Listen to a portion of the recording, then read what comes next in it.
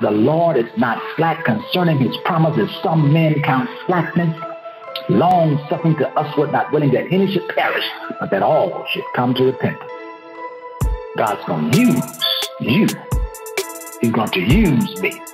He's going to use some of us to be those individuals that he will cause to say a word, to be instrumental in someone's life to get them to God in these last and evil days.